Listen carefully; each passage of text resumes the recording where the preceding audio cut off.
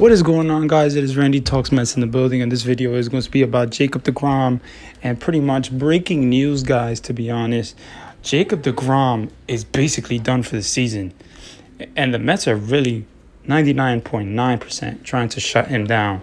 So, um, yeah, guys, leave a like, comment, subscribe if you enjoyed the video and if you enjoy the news.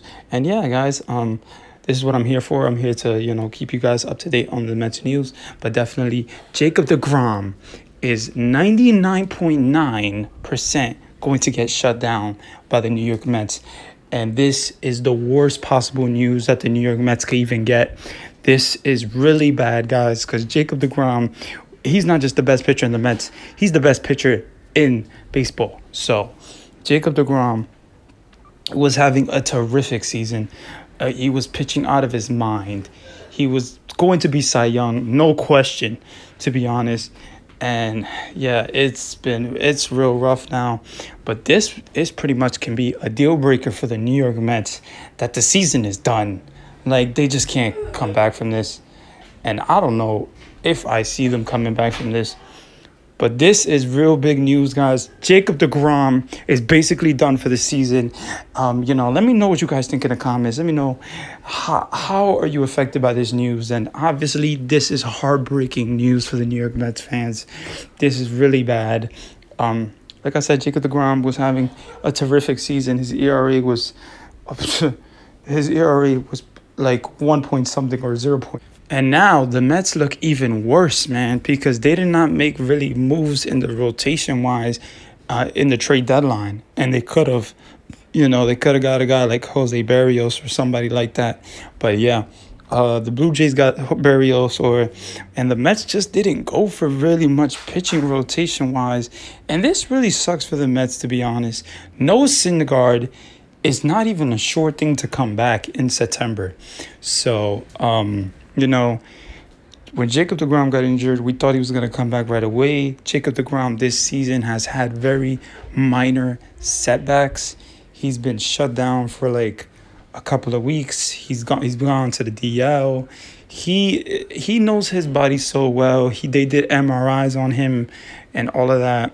And still Jacob DeGrom was not able to come back um, you know, healthy, healthy, full, fully healthy. And this really sucks for the New York Mets. This is the worst news, like I said, that the Mets can get. Um, I really don't know where the Mets go from here, to be honest, in the season.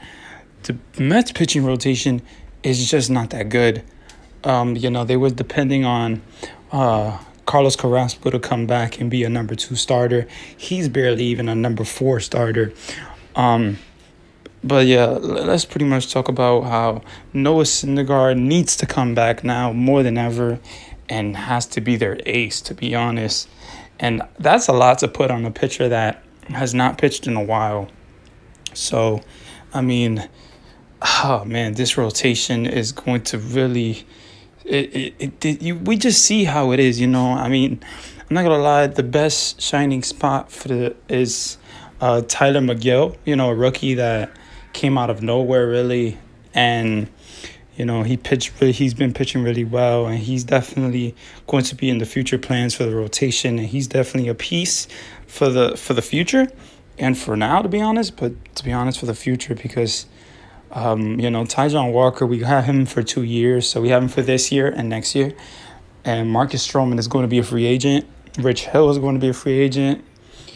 Uh Carlos Carrasco, we have him for another year as well. So the rotation is not really that great, to be honest. And I really don't know where the Mets go from here. The Mets really have to get so lucky that Noah Syndergaard comes back and becomes their ace.